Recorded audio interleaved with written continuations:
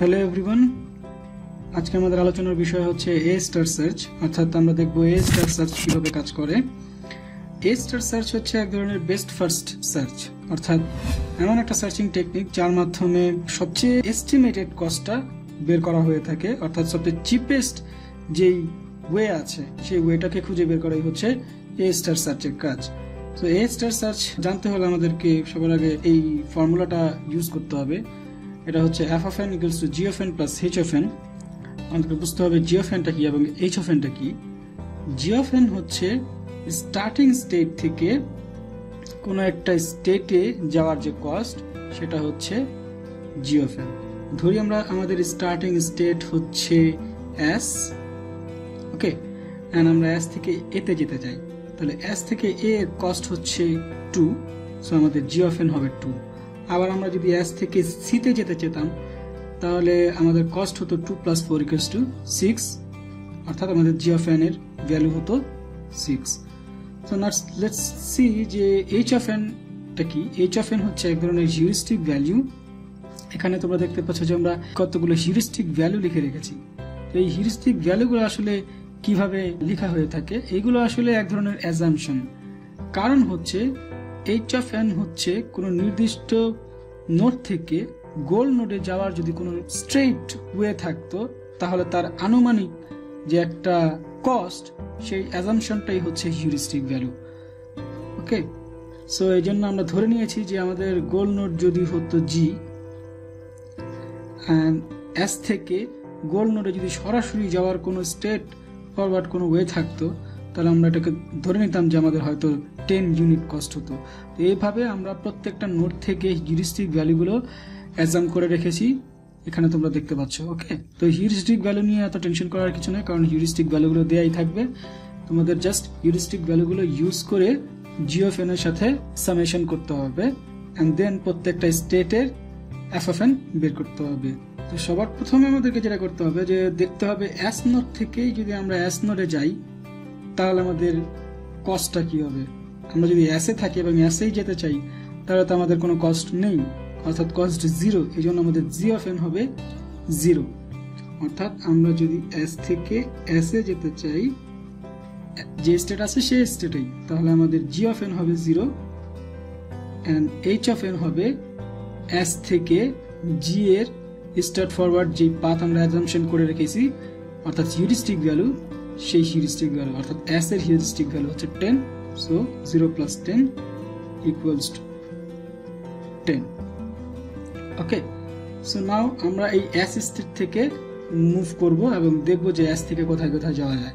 আমরা এখানে দেখতে পাচ্ছি যে এস থেকে এতে যাওয়া যায়, আবার এস থেকে বিতে যাওয়া যায়। তো আমরা দুইটা ওয়েতেই আগাবো অ্যান্ড দেখব যে কোনটার কস্ট কত হয়। ওকে তো আমরা দেখতে পাচ্ছি এস থেকে যদি আমরা এতে যাই তাহলে আমাদের জি অফ এন কি হবে? জি অফ এস থেকে এ কস্ট হচ্ছে টু সো আমাদের জি অফ এন হবে টু প্লাস এ এর হিউরিস্টিক ভ্যালু কত? এ এর হিউরিস্টিক ভ্যালু হচ্ছে seven so two plus seven অর্থাৎ এইচ অফ এন হচ্ছে সেভেন ইকুয়ালস টু নাইন এখন আমরা দেখব এস থেকে আমরা বিতে গেলে আমাদের এফ অফ এন কি হবে? এস থেকে বি এর কস্ট হচ্ছে টু সো এস থেকে বি এর ক্ষেত্রে জি অফ এন হবে two plus H of N হবে বি এর হিউরিস্টিক ভ্যালু অর্থাৎ বি এর হিউরিস্টিক ভ্যালু হচ্ছে six two plus six equals to eight খেয়াল করতে হবে হিউরিস্টিক ভ্যালুগুলো আসলে আমাদের লাস্ট যে নোটটা, সেই নোটটারই হিউরিস্টিক ভ্যালুগুলো বের করতে হয়। এখানে আমরা এর হিউরিস্টিক ভ্যালু নিয়েছি, এখানে আমরা বি এর হিউরিস্টিক ভ্যালু নিয়েছি। ঠিক আছে? তো এখন একটা খেয়াল করার বিষয় হচ্ছে, এই যে দুইটা স্টেট এই দুইটা স্টেট তো আমরা এই স্টেট থেকেই পার করে এসেছি। সো এই স্টেটটাকে আমরা এভাবে মার্ক করে দিলাম যাতে বোঝা যায় যে এই স্টেটটা আমরা ভিজিট করে ফেলেছি। এখন আমাদের কম্পেয়ার করতে হবে যে এই দুইটা স্টেটের মধ্যে কস্ট কোনটার কম।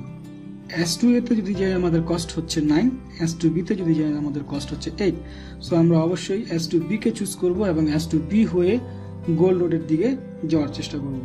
তাহলে এস টু বিকে চুজ করলাম অ্যান্ড এস টু বি থেকে কোথায় যাওয়া যায় দেখি? এস টু বি থেকে আমরা ডিতেও যেতে পারি, আবার এস টু বি থেকে আমরা জিতেও যেতে পারি।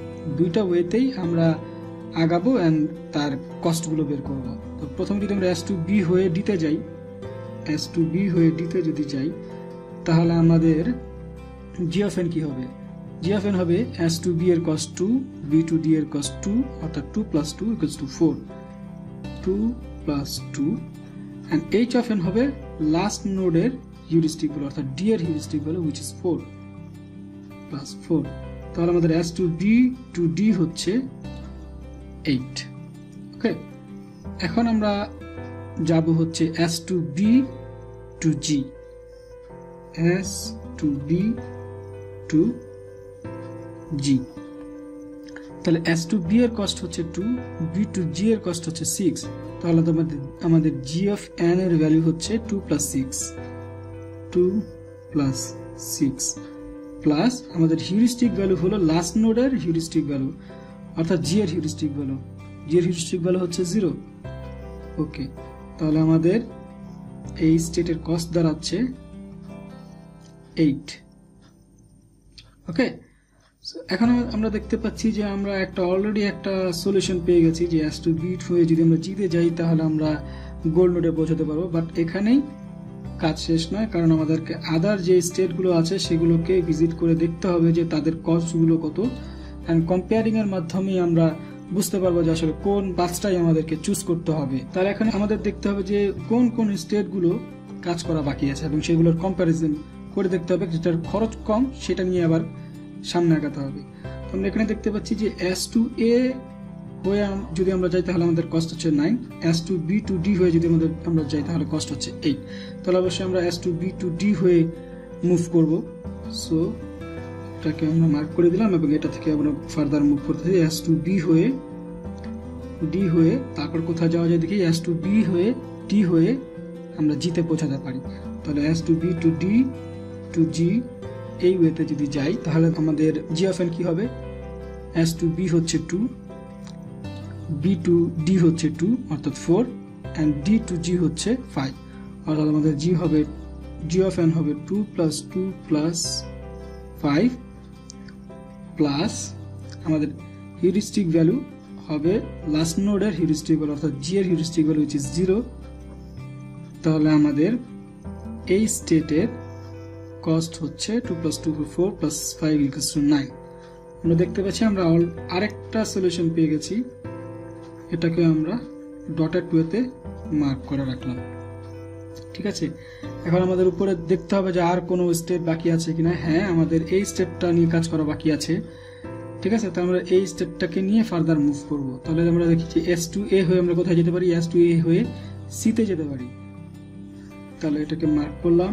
অ্যান্ড এস টু এ হয়ে আমরা সিতে যাব। ওকে তো এস টু এ হয়ে সিতে যাব। এস টু এ হচ্ছে cost two S A to C হচ্ছে কস্ট ফোর তাহলে আমাদের জি অফ এন হচ্ছে two plus four and H of N হচ্ছে লাস্ট নোডের হিউরিস্টিক ভ্যালু তাহলে সি এর heuristic value which is five plus five তাহলে আমাদের এফ অফ এন দাঁড়ায় হচ্ছে সিক্স প্লাস ইলেভেন ওকে আমরা দেখতে পাচ্ছি যে এখন আমরা এই এই স্টেটের মাধ্যমে গোল নোডে পৌঁছতে পারি না। সো এটাকে আবার ফার্দার মুভ করতে হবে। এটাকে মুভ করি। এস টু এ হয়ে সি হয়ে আমরা কোথায় যেতে পারি দেখি? এস টু এ হয়ে সি হয়ে আমরা গোল নোডে পৌঁছাতে পারি। ঠিক আছে? তাহলে দেখতে হবে এস টু এর কস্ট হচ্ছে টু এ টু সি এর কস্ট হচ্ছে ফোর সি টু জি এর কস্ট হচ্ছে ফোর তাহলে আমাদের জি অফ এন হবে two plus four plus four plus আমাদের হিউরিস্টিক ভ্যালু হচ্ছে লাস্ট নোডের হিউরিস্টিক সরি এখানে সি হয়ে জি হবে। ওকে তো জি এর হিউরিস্টিক ভ্যালু হচ্ছে জিরো সো আমাদের টোটাল এস্টিমেটেড কস্ট হচ্ছে two six plus four use to ten তো আমরা এখানে দেখতে পাচ্ছি যে আমরা টোটাল তিনটা সলিউশন পাচ্ছি গোল নোট জিতে পৌঁছানোর।